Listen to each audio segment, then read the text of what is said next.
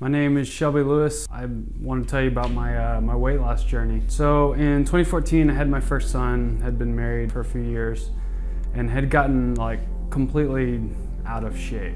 You know, the daily activity, the accountability just wasn't there. Uh, and really what kicked this thing, in December of 2014, I had had heart issues. The doctors really would never really tell me, hey Shelby, you're, you're overweight or you're out of shape. And they had told me, uh, I was, I think I was 31 at this time, they had told me, Shelby, we might have to put a pacemaker in you. And I realized that was not where I saw myself. That, that was not where I wanted to be.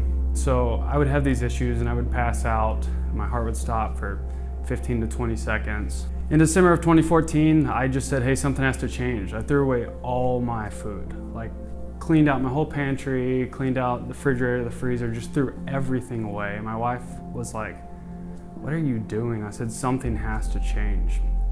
So uh, got into a routine, um, joined in some accountability, some people to say, hey, don't eat that. Why are you doing this? And just started exercising. Didn't really know exactly what it looked like, but just dove into it.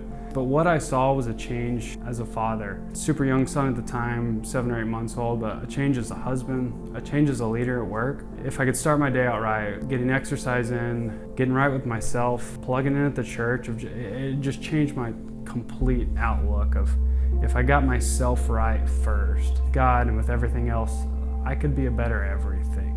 I couldn't see myself with a pacemaker, overweight, you know, telling my kids from the couch, hey, here's how you should be doing it when I wasn't living it myself. I couldn't tell my my coworkers and my friends, hey, this is probably how you should do it when I wasn't doing it, and I couldn't be a good husband. And, and that's what I felt in my my eyes. I'd struggle with it forever, and finally just had to like completely do a 180 and say, this has to change. So if I could challenge you in one way, like starting today. There's never, everyone wants to do it tomorrow, but starting today, like go throw away your food. You know, if it's something you're struggling with drugs or with drinking or just with overeating, just, stop it today. Tell somebody, hey, I'm doing this today and I need you to hold me accountable. Uh, and it starts with throwing one bad thing away, you know, and saying no to one thing. And if you can do that, who knows what the future has for you.